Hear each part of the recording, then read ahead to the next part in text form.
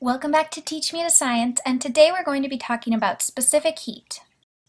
So the definition for specific heat is how much energy or heat is required to raise the temperature of the item 1 degree Celsius when there's 1 gram of it. Specific heat is really important when you're trying to figure out how much energy you need to put into something. For example, if you're trying to cook a chicken breast, you need to know the specific heat because it may impact how much of the chicken breast you try to cook at a time. If it has a really high specific heat, you might try and cook less of it so it takes less time for you to heat up your chicken. And there's one very important formula that uses specific heat when you're trying to calculate energy.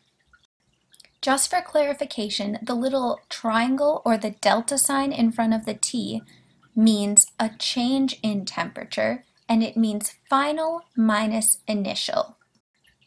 This equation solves for the energy required to raise the temperature of an object so much. Pay attention to units here because they're very important and they'll come in handy later. You also need to pay attention to the units that your specific heat is given in. Pause the video and think about this question for a little bit. So do you think a higher specific heat means that you have to put more or less energy into the substance? A higher specific heat means that more energy is required to heat up one gram of the substance. If we look at units, this becomes really easy to see. The normal units for specific heat are joules per grams degrees Celsius.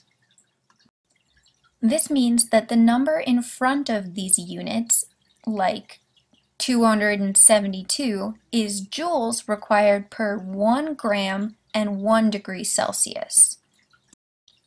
For example, if it takes 29 joules per 1 gram per 1 degree Celsius versus 2 joules per 1 gram per degree Celsius, you can see that 29 joules is a lot more energy and will take more energy for that specific substance to heat up. Alright, let's do an example calculation. What is the heat required if 12.4 grams of water with a specific heat of 4.186 joules per gram degrees Celsius is heated from 22 degrees Celsius to 50 degrees Celsius? To start these problems, I like to write out my equation as well as each of my knowns and my unknown. In this case, I have a mass, I have a specific heat, and I have a change in temperature. This means I can use the equation Q equals mc delta T to solve for the energy in joules. Reminder, this will be the energy that is required to cause the temperature change we're showing here. After you have all the numbers sorted out, it's really just a plug and chug problem, meaning that all you have to do is plug in the numbers and chug away on your calculator. Alright, and for an answer, I got 1,453.37 joules. Now the units on this are very important. How do I know it's joules versus kilojoules?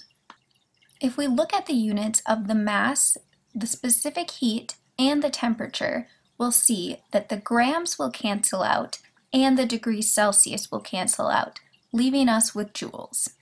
I hope you've enjoyed this video. If you could please like and subscribe to my channel, I would appreciate it. Bye!